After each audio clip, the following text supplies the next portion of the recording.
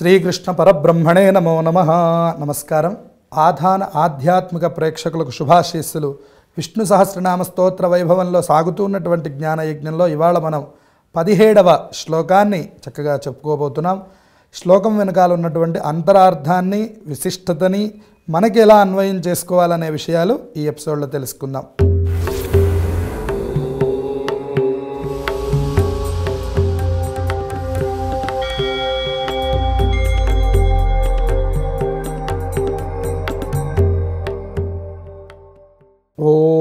వ్యాసం వసిష్ఠనప్తారం శక్తే పౌత్రమకల్మషం పరాశరాత్మజం వందే శుకతాతం తపోనిధిం వ్యాసాయ విష్ణురూపాయ వ్యాసరూపాయ విష్ణవే నమో వై బ్రహ్మనిధజే వాసిష్ఠాయ నమో నమ ఓం నమో భగవతే వాసుదేవాయ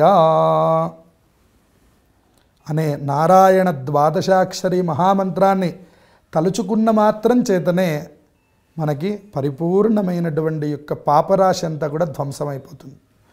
అటువంటి ఈ మహా యజ్ఞంలో ఇవాళ మనం పదిహేడవ శ్లోకాన్ని ఒక్కసారి మనం పఠించి ఆ తర్వాత మనం అంతరార్థంలోకి ప్రవేశిద్దాం.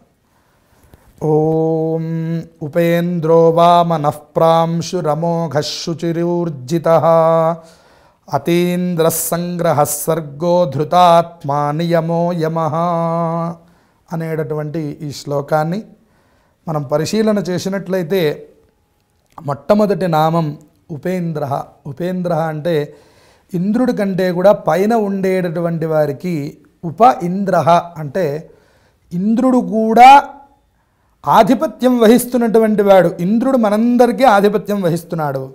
ఇంద్రుడికి ఎవరు ఆధిపత్యం వహిస్తున్నాడో ఆయనకి ఉపేంద్ర అని పేరు. కాదు కాదు శ్రీకృష్ణావతారంలో దేవతల తల్లి అయినటువంటి యొక్క అతిథి గర్భమున ఇంద్రుడి కంటే కూడా పూర్వముగా జన్మించినటువంటి వాడు శ్రీకృష్ణ పరమాత్మ. అందుకనే మనం ఆ శ్రీకృష్ణనామం చెప్పుకొని ప్రారంభిస్తున్న కారణం కూడా. ఉపేంద్ర అంటే శ్రీకృష్ణుడి కంటే కూడా ముందు జన్మించినటువంటి వారికి ఉపేంద్రుడు అని పేరు. అట్లాగే ఉపేంద్ర అంటే దేవతలందరిలోకి కూడా గొప్పదైనటువంటి యొక్క స్థానాన్ని సంపాదించుకున్నటువంటి వాడు. ఇంద్రుడి కంటే కూడా గొప్పగా నిలబడినటువంటి వాడు వేదముల యందు అనేటటువంటి పేరుంది. తరువాతి నామం వామన. వామనః అంటే బలిచక్రవర్తిని తన యొక్క మూడడుగుల భూమిని అడగడం ద్వారా కారణం చేత తన శిరస్సున పాదం పెట్టి ఆ పాతాళమునకు తొక్కినటువంటి యొక్క స్వామికి వామనుడు అనేటటువంటి పేరు.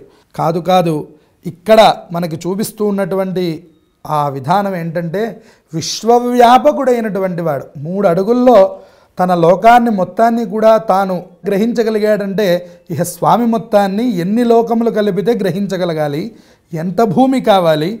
ఎంత విధానం కావాలి? అందుకని మనం ఆలోచించాలి వామనః అనేటటువంటి నామం తలుచుకుంటేనే మనకి ఇంతదైనటువంటి జ్ఞానం.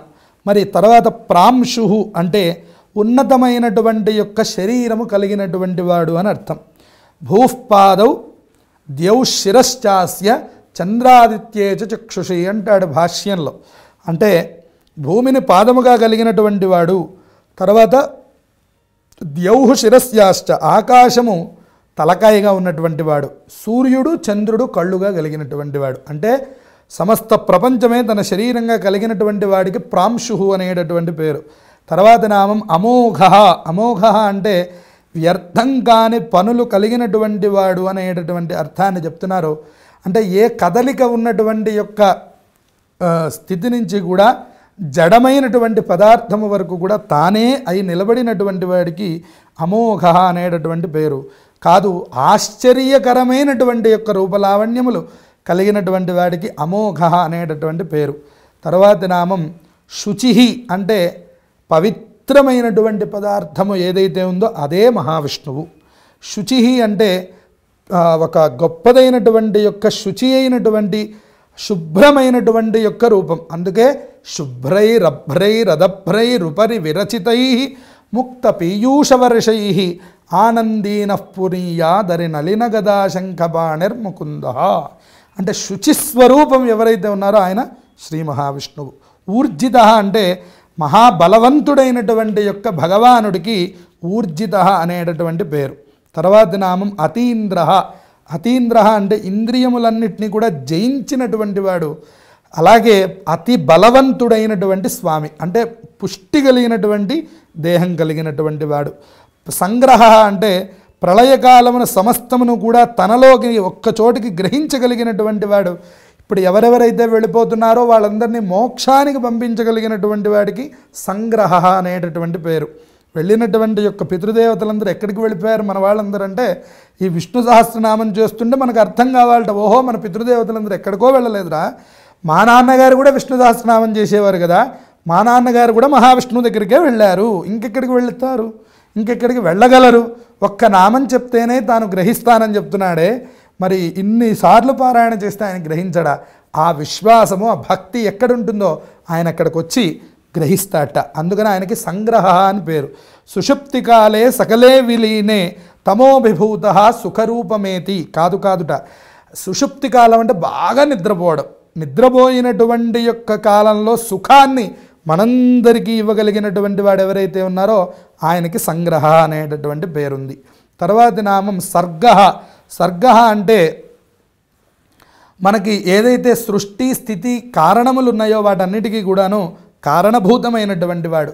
ధృతాత్మ గొప్పదైనటువంటి చాలా దృఢమైనటువంటి మనస్సు కలిగినటువంటి వాడు అని అర్థం. తర్వాత నియమ అంటే ఏ పనినైనా కూడా జీవులు వారి వారి కార్యములను పెడత్రోవ పట్టకుండా సక్రమమైనటువంటి మార్గంలో నియమం చేసేటటువంటి వాడు. తర్వాత నామం యమహ. యమహ అంటే లోపల ఉన్నటువంటి యొక్క అంతరార్థమైనటువంటి యొక్క ఈ ఇంద్రియములు కానివ్వండి బుద్ధి కానివ్వండి మనస్సు కానివ్వండి వీటన్నిటినీ కూడా యమహ అంటే నియంత్రించేటటువంటి వాడు. అంటే ఇప్పుడు ఈ శ్లోకం ద్వారా మనకేమర్థమవుతోంది? నియమ ఆయనే యమహ ఆయనే అన్నీ ఆయనే కాబట్టి మనం గనక ఈ శ్లోకాన్ని అనునిత్యం పారాయణ చేసినట్లయితే మనకు కలిగేటటువంటి యొక్క స్థితి ఆ గొప్పదైనటువంటి యొక్క నియంత్రణ ఒక సత్ప్రవర్తన సత్శీలత అలాగే మనకు కలిగేటటువంటి యొక్క ఒక డిసిప్లైన్ మనకి సత్ప్రవర్తన ఈ శ్లోకం ద్వారా కలుగుతుంది. ఆయన యొక్క అనుగ్రహాన్ని మనం కనుక పొందగలిగామంటే అమోఘ గొప్పదైనటువంటి యొక్క ఇంద్రుడి కంటే గొప్పదైనటువంటి వాడు అలాగే లోకములన్నింటినీ కూడా జయించినటువంటి వాడు లోకాన్ని నియమంగా నడపగలిగినటువంటి వాడు ఆ నియమం నియమంగా నడపడమే కాకుండా యముడై నడిపించగలిగినటువంటి వాడు కూడా ఆయనే ఉన్నాడు కాబట్టి మృగశిరా నక్షత్రం ఒకటో పాదం గురించి చెప్తూ ఉన్నారు. మృగశిరా నక్షత్రం వృషభ రాశిలో ఉన్నటువంటి వారికి చంద్రుడు చక్కటి స్థానంలో ఉంటాడు. ఆ మృగశిరా నక్షత్రానికి అధిపతి కుజుడు మృగశిరా నక్షత్రానికి ఆ అధిష్టాన దేవత ఎవరైతే ఉన్నారో ఆయన సోముడు అంటే మళ్ళీ చంద్రుడే. కాబట్టి చంద్రుడు చంద్రుడు యొక్క స్థానంలో ఉండి వృషభ రాశి అయినటువంటి యొక్క శుక్రుడు రాశ్యాధిపతి శుక్రుడితో సంచారం చేస్తున్నారో వీళ్ళకి మృగశిరా నక్షత్రం ఒకటో పాదం వారికి ఆ స్థానం చాలా గొప్పదిగా ఉంటుంది కాబట్టి వీళ్ళు గనక నియంత్రణగా గనక చక్కగా పారాయణ చేస్తే మంచి ప్రవర్తన సచ్చీలత చక్కటి నియమావళి అన్నీ కూడా ఏర్పడి లోకంలో చాలా గొప్పదైనటువంటి కీర్తిని పొందగలుగుతారు అనేటటువంటిది ఈ శ్లోకం మనకు తెలియచేస్తున్నది. స్వస్తి. ధర్మం మర్మం శాస్త్రం స్తోత్రం ఇలాంటి మరెన్నో విషయాల గురించి తెలుసుకోవడానికి సబ్స్క్రైబ్ చేసుకోండి ఆధాన్ ఆధ్యాత్మిక.